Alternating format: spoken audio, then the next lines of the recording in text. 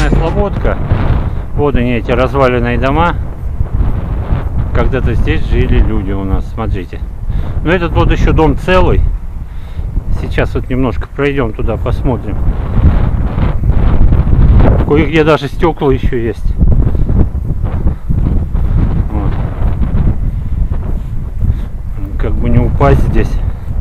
Да не вступить во что-нибудь. Вот он. Да, все разобрали.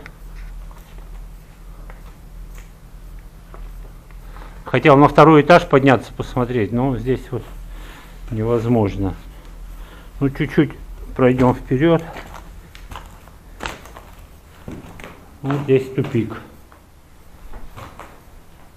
Отдельная квартира была, он даже люстра еще какая-то висит. Вон второй этаж.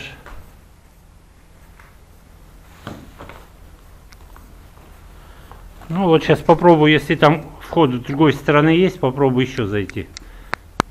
Ну вот, видите, балкончик, табуреточка еще осталась. От кого-то не забрали с собой. Балкончик, вот он, центральный вход. Сейчас попробую туда вовнутрь зайти, посмотрим, что там, если возможно. Будем под ноги смотреть.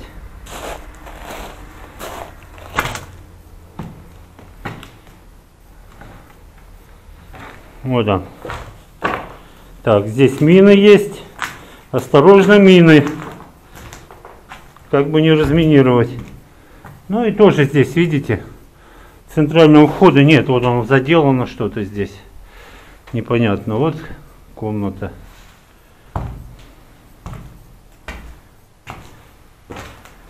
Вот, смотрите. Этих людей переселили. Я вам показывал эти дома красной крышей. Будет момент, еще покажу. Ну и вот он, этот дом с колоннами. Вот он. Ну вот как-то так здесь. Ну я хожу пока вокруг цементной слободки, вот возле этого разваленного дома, а рядышком строят э, новое здание для ведомственной охраны и для обслуживающего персонала, когда мост дадут в эксплуатацию. Здесь будет комплекс зданий, каких пока понять трудно, но здесь хорошо видно. Вот сейчас на данный момент люди работают, забетонировали плиту фундаментную и сейчас э, сверху делают тепляк. Ну, брезентом покрывают, ну, чтобы до бетона не касалось. И если нужно, если температура воздуха будет э, меньше 5 градусов, то поставят туда тепловые пушки. Ну, сейчас пока 8 7-8 градусов было на момент съемок, я думаю, что не нужно. Ну, на всякий случай подстраховываются. Она и от дождя прикроет, потому что когда бетон еще не схватился, сами понимаете, если дождь пойдет, то такие капельки будут на поверхности. Ну вот, собственно говоря, видите, вот миксер стоит и сливают в, в бодейку бетон. У нас ее звали колокольчик. Вот краном подают ее, наполняют и перемещают. Здесь вот с одной стороны уже забетонировали. И дальше будут. Ну а вот мы видим с вами как раз шумозащитные экраны.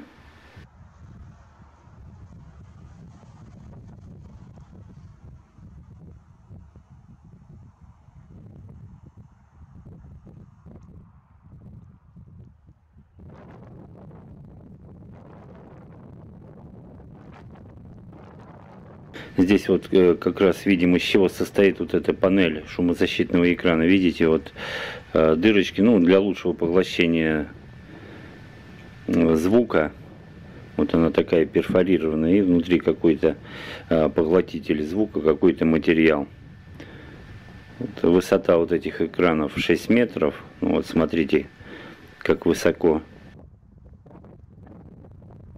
Ну и вот какое крепление к нашему, нашему забора бетонному парапету.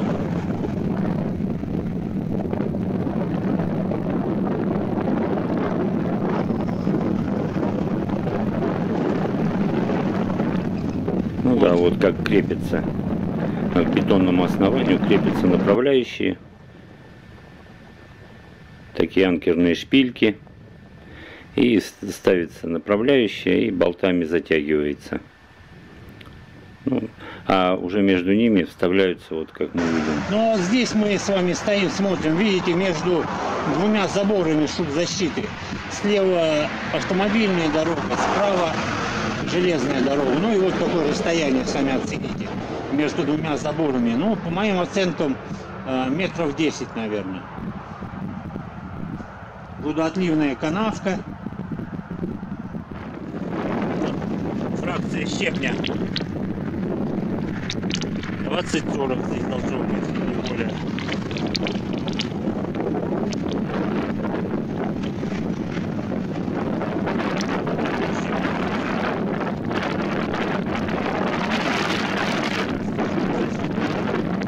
Его здесь насыпали.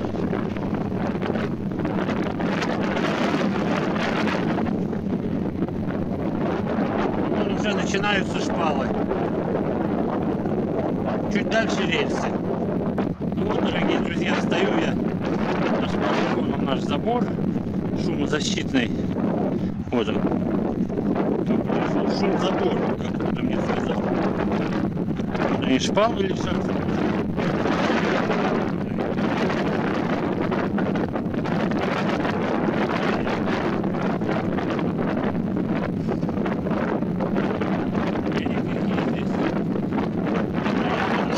Рельсы лежат.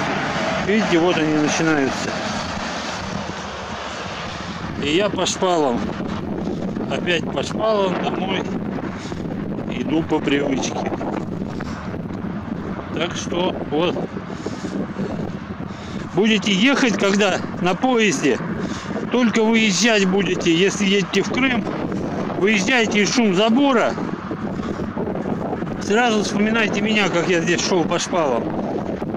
Вот видите, как планкой соединили просто временно между стыком э, рельс. Один болт поставили.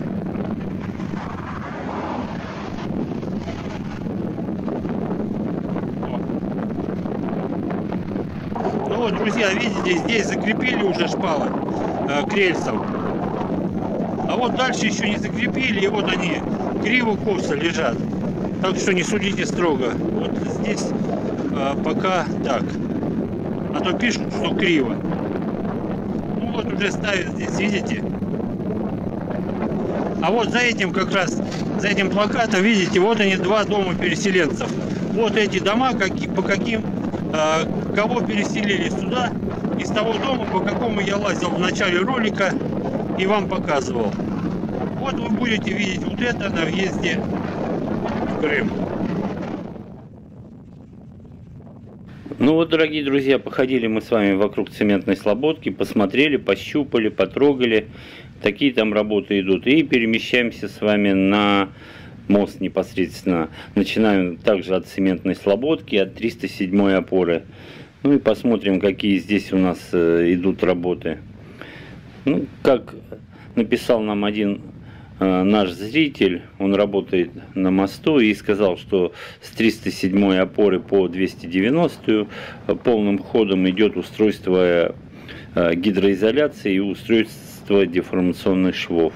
Ну, сначала э, антикоррозийный мастику наносят в балластном коры- корыте и затем э, делают гидроизоляцию. Ну и само собой э, в это время делают деформационные швы. Хорошо, мы видим вот в начале там от 307 опоры стоят палатки, ну, такие шатры своеобразные.